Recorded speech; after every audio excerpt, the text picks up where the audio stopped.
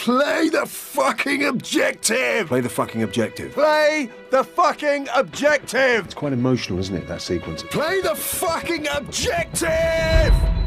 So you need the voice of God, Kevin. That's what you need. You need a voice to kind of, uh, yeah. All right, let's do it. Bloody move, move, bloody move, bloody move. Battlefield will never be the same. Oh, sorry, sorry. It depends what he's done, doesn't it? If he's stolen on someone's foot, it's more of a go, oh, sorry. Give me first aid, give me first aid, give me first aid, give me first aid, give me first aid. Was that too much, maybe? Hello, old friend. Hello, old I friend. think it does just need to pace down just a hair. Hello, old friend. Da da da da da da.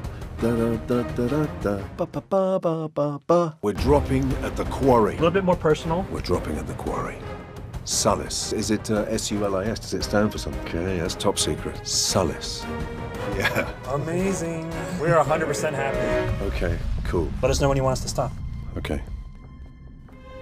It is in the moment of truth that we uncover who we really are. What sacrifices we can endure.